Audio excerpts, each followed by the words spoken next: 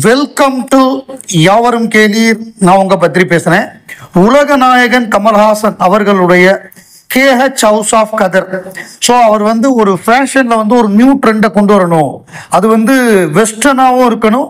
அதே சமயத்தில் இந்தியனாகவும் இருக்கணும். அப்படின்னு சொல்லி கதரையும் அந்த வெஸ்டர்ன் ஸ்டைலையும் பிளெண்ட் பண்ணி பல்வேறு விஷயங்களை பண்ணிகிட்டு இருக்காரு. ஏற்கனவே கடந்த ஆண்டு லூமினேர் அப்படின்னு ஒரு ஒரு ஃபேஷனை அறிமுகப்படுத்தினாரு. அது பயங்கரமாக பிரபலமானது. அதே மாதிரி இந்த ஆண்டு சுட்டூரா எஸ்யூ டியூஆர்ஏ அப்படிங்கிற ஒரு புது ட்ரெண்டை ஒன்று உருவாக்கியிருக்காரு. புது ஸ்டைல இப்போ செப்டம்பர் செவன்த் வந்து நியூயார்க்கில் வந்து ஃபேஷன் ரன்னவே நடந்தது. New York fashion week twenty twenty four September seventh so அதில் வந்து உலகநாயகன் கமலஹாசன் அவர்கள் லேட்டஸ்ட்டாக என்ன லான்ச் பண்ணியிருக்காரு அப்படின்னா சுத்தூரா Kamalhasan's House of Qatar has caused a quite a stir at New York Fashion Week with the launch of its innovative collection uh, titled Sutura. This is a daring and powerful combination of high fashion and sustainability launched on one of the biggest and most respectful platform in the world of fashion அப்படிங்கிற மாதிரி சொல்லியிருக்காங்க so அப்படிப்பட்ட ஒரு ஒரு ஒரு குளோத்திங்கை வந்து அவர் ஏற்கனவே நடிகர் பிரபாஸுக்கு கிஃப்ட் பண்ணார். அவர் நன்றி சொல்லியிருந்தாரு. இப்போ வந்து த்ரிஷா அவர்களுக்கு அதை கிஃப்ட் பண்ணியிருக்காரு.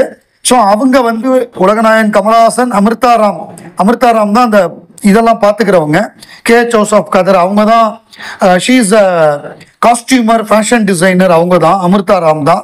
இப்போ பிக் பாஸுக்கெலாம் அவங்க தான் பண்ணியிருக்காங்க உலகநாயகனுக்கு அவருடைய படங்களுக்கும் பண்ணியிருக்காங்க ஸோ அவங்க வந்து ந- நன்றி சொல்லியிருக்காங்க. Thank you Trisha for the wishes big hug அப்படின்னு போட்டு அவங்க நன்றி சொல்லியிருக்காங்க.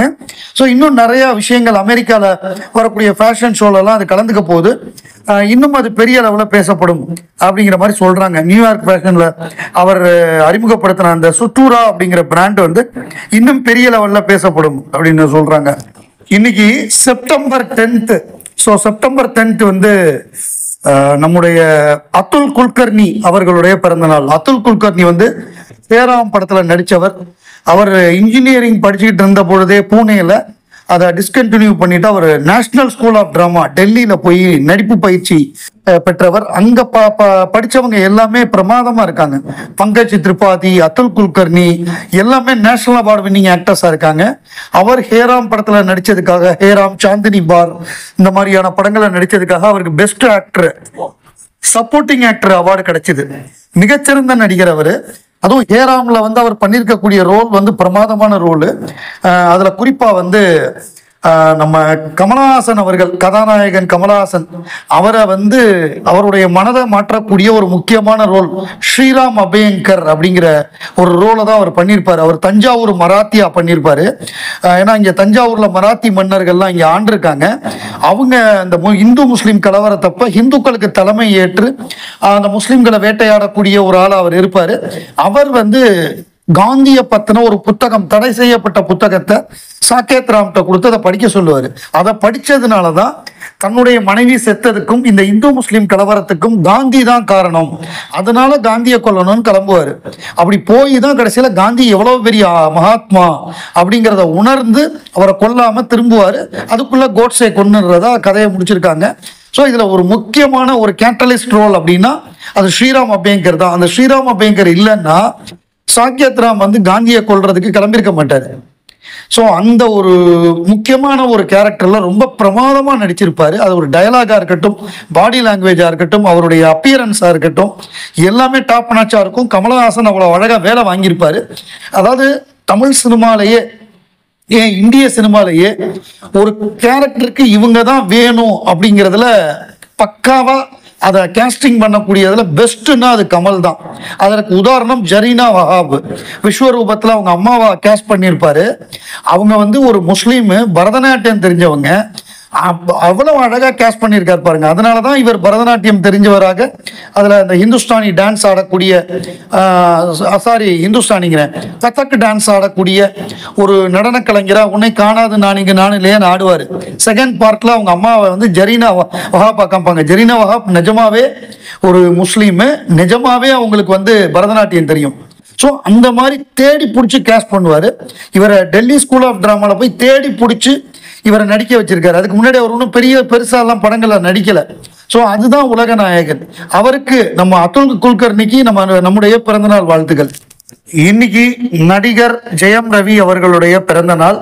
ஸோ ஜெயம் ரவி நேற்று வந்து அவருடைய டைவர்ஸ் அனௌன்ஸ் பண்ணியிருக்காரு. அது தொடர்பாக தனுஷையும் அவரையும் இது பண்ணி போட்டு தனுஷ் அடிச்சுக்கிட்டு இருக்காங்க. தனுஷ் தான் இதுக்கு காரணம் அப்படிங்கிற மாதிரி போட்டு நிறையா அந்த மாதிரி அதை யார் டைவர்ஸ் ஆனாலும் தனுஷ் பேர் அதில் அடிபடும். அதை போட்டு ஒரு ஒரு குரூப் வந்து பொழுதுபோக்கிட்டு இருப்பாங்க. அது ரைட்டு அது உண்மையாக பொய்யா நமக்கு தெரில அதுக்குள்ளே நம்ம போக வேண்டாம். அதை நேற்று ஏன் அறிவிச்சிருக்காரு அப்படின்னா இன்று வந்து புதுசா இருக்கட்டும். இந்த பிறந்த நாள் புதுசா இருக்கட்டும் நடந்து முடிஞ்சது நடந்தவையாக இருக்கட்டும். அது என்ன காரணத்தினாலும் அது அவருக்கும் அவங்க மனைவிக்கும் உட்பட்ட அவங்களுக்குள்ள உள்ள விஷயம். அது மூன்றாவது ஆள் அதுல நம்ம கருத்து சொல்ல முடியாது. ஸோ அதை விட்டுருவோம். ஜெயம் ரவி அவர்களுக்கு இன்று பிறந்த நாள். ஜெயம் ரவி அவர்கள் ஜெயம் படம் மூலமாக அறிமுகமானார். அவங்க அப்பா எடிட்டர் மோகன் அண்ணன் மோகன் ராஜா. ஸோ இந்த பின்னணியில அவர் சின்ன வயசுலயே முறையாக நடிப்பு சம்பந்தமான படிப்பு படிச்சவர். அதே சமயத்துல பரதநாட்டியம் கற்று அரங்கேற்றம் பண்ணவர். அவர் வந்து சலங்கை ஒளியெல்லாம் பார்த்துட்டு நம்மளும் கமல் சார் மாதிரி பரதநாட்டியம் ஆடணும் நம்மளும் நடிக்கணும்.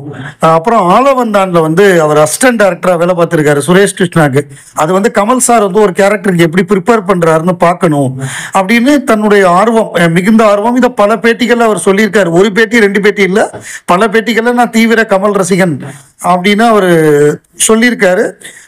அவர் வந்து கொஞ்சம் கொஞ்சமாக நல்ல படங்கள் வித்தியாசமான பாத்திரங்கள்லாம் நடித்தார் நடுவில் கொஞ்சம் தொய்வு. பொன்னியின் செல்வன் பிரமாதமாக பண்ணியிருந்தார் ஃபர்ஸ்ட் பார்ட்டு அதுக்கப்புறம் வந்து சில படங்கள் அவர் எடு தேர்ந்தெடுத்த கதைகள் சில படங்கள் வந்து சரியாக போகல அது எல்லாருக்குமே நடக்கும். ஹிட்டும் வரும் ஃப்ளாப்பும் வரும். இதெல்லாம் தாண்டி தான் ஜெயிக்கணும். ஸோ அப்படி வந்து ஜெயம் ரவி இதுக்கப்புறம் தீபாவளிக்கு ரிலீஸ் ஆகிற அவருடைய பிரதர் படத்துலேருந்து அவர் வந்து தொடர் வெற்றிகளை குவிக்க நம்முடைய வாழ்த்துக்கள் அவருக்கு இனிய பிறந்தநாள் நல்வாழ்த்துக்கள். ஜெயம் படம் அதாவது ஜெயம் ரவி நடித்த முதல் படம் மோகன் தயாரித்த படம் தெலுங்கு ரீமேக்கு அந்த படம் மோகன் ராஜாவே டைரக்ட் பண்ணுறாரு அந்த படத்தை வந்து முத முதல்ல கிளாப் அடித்த அந்த படத்தை துவங்கி வைத்ததும் உலகநாயகன் கமலாசன் தான் அப்படிங்கிறது குறிப்பிடத்தக்கது. அந்த பேடை வச்சு பார்த்துட்டு ரெண்டு பேர்த்தையும் அந்த முதல் காட்சி என்ன எடுக்க போறீங்க அப்படின்னு அதை படிச்சுட்டு அதுக்கப்புறம் அதை போய் கிளாப் தட்டி வச்ச அந்த பிக்சர் கூட இன்றும் பசுமையா நினைவுல இருக்கு.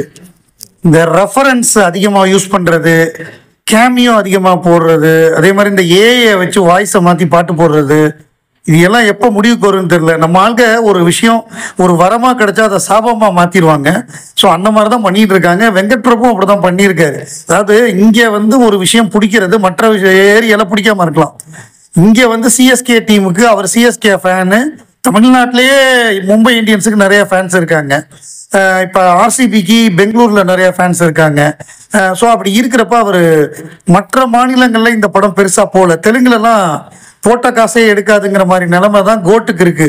அதே நிலைமை தான் ஆந்திரா தெலுங்கானா ஹிந்தி ரீஜன்லலாம் அப்படிதான் இருக்கு.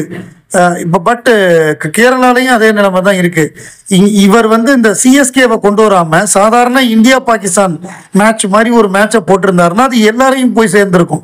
இவர் சிஎஸ்கேன்னு போட்டு தோனியை கொண்டு வரணும்னு கொண்டு வந்தாரு. அது தமிழ்நாட்டில் கிளிக் ஆகிருக்கலாம் ஆனால் ஆந்திராலையோ தெலுங்கானாலையோ கேரளாலையோ ஹிந்தி ரீஜன்லேயோ அது கிளிக் ஆகலை. அவரே சொல்றாரு என்னை ட்ரோல் பண்றாங்க. Mumbai Indians fans RCB fans எல்லாம் அங்க அது சரியா ஒர்க் ஆகல நான் என்ன பண்ண முடியும்னு கேக்குறாரு. ஸோ யூனிவர்சலா ஒரு விஷயத்தை எடுத்துக்கணும்.